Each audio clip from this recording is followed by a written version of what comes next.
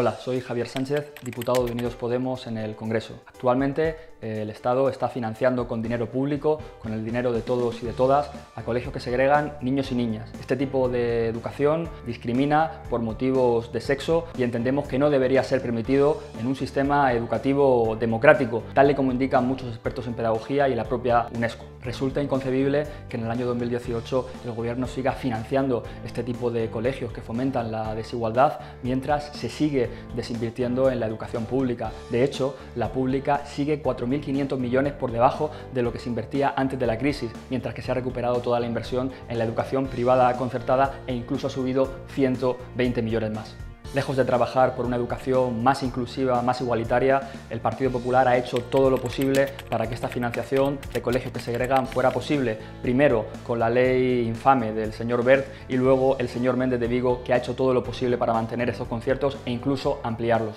Estamos ante una clara estrategia política e ideológica por parte del Partido Popular. En la Comunidad de Madrid, por ejemplo, el presupuesto para este tipo de centros se ha incrementado por 10 en los últimos 20 años. Parece que el Partido Popular quiere pasar de la escuela pública y democrática y devolvernos a la Escuela Nacional Católica.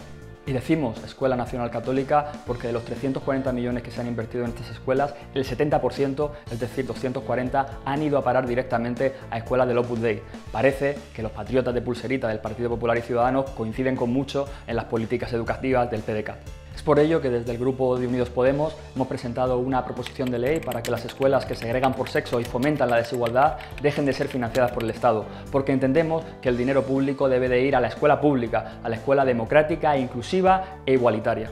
Y esta vez parece que el Gobierno, que el Partido Popular no ha encontrado excusas para vetar esta proposición de ley. No esperamos mucho de ello, no esperamos su apoyo, pero sí esperamos que cuando llegue esta ley al Pleno la apoyen tanto Partido Socialista como el Grupo Ciudadanos.